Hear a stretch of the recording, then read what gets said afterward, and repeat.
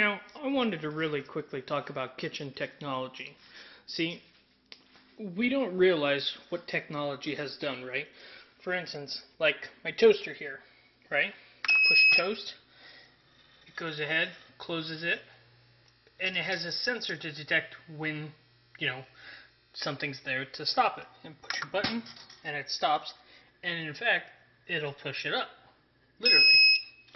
And depending on what you might have in it, it actually knows, you know, wow, hey, something heavy is here, or this is how long it is, this is how far down I have to go. And then here you have a normal coffee uh, maker, right? Push a button, you put in your stuff, right? And then out comes the coffee. Now this coffee maker actually has a little sensor, so that if it's brewing, I take it out, it stops. It literally can detect it. And up here, obviously the grounder and whatnot. And here's, you know, the buttons to push. That's not interesting. But I would like to come to my uh, uh, Keurig, right?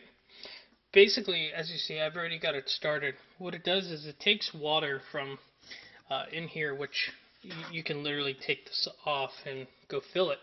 Um, and you have a couple options here, but the idea is you open this sucker up, and then you put uh, what's called a K-cup in. Obviously, you need a, a mug or whatever.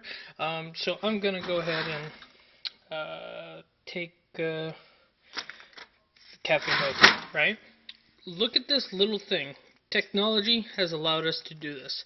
A single cup of coffee. So if you're a single person, you don't have to make a full pot, which is nice. And it has decent flavors, actually. Uh, I have not had the cafe mocha, but we're going to sure try. So we close this down, and you hear it snaps.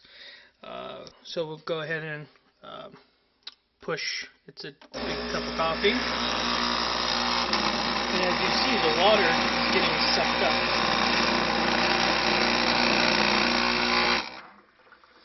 And in a second it'll pour, and that's it. I just thought that was amazing, and I wanted to talk about uh, kitchen electronics.